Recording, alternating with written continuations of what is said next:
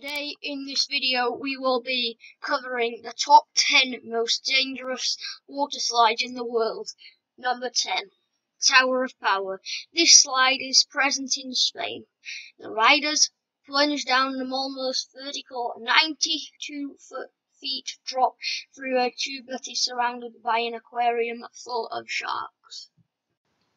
Number 9. Aqualoop Terme 3000. It is present in Slovenia and is one of the top five fastest water slides in Europe. The slide is over 290 feet in length and, over, and is over within 7 seconds. Number 8. Jumelia Ra Salva I can't say that, sorry about that. Um, the water slide is present in UAE and is total 360 feet in length. It takes riders up to a height of 108 feet while reaching speeds up to 50 miles per hour. Number 7. Summit Plummet. The Summit Plummet is present in Disney Blizzard Beach Water Park and has and has a length of 120 feet while moving the riders at the speed of 6 miles per hour. It is the third tallest and fastest freefall water slide in the world. Number 6. Leap of Faith. The Leap of Faith has a vertical drop with a length of 60 feet. The dangerous part comes when you are moving through a water tube that is yet again surrounded by sharks from all sides. Number 5. Slip and Fly. It is located in Tirana and the top of the slide stands at 42 feet while the whole length of the slide is 100 feet.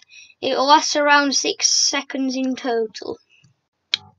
Number 4. L2 Double Looping. This is a 400 feet tall water slide in Australia that comprises of certain trapdoors and out of this world loops and turns in between.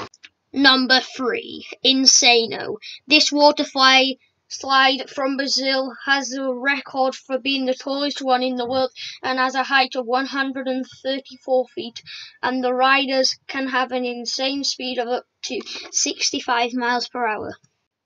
Number two, Scorpion's Tail.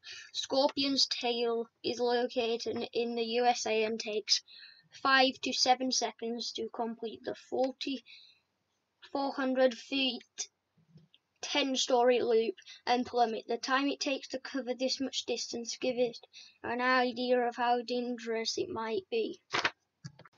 And finally, number one, Kilimanjaro. Located in Brazil, Kilimanjaro has a drop height of 164 feet and is the second highest water slide dropper in the world. The ride can reach a speed of 62 miles per hour with a 6 degree incline.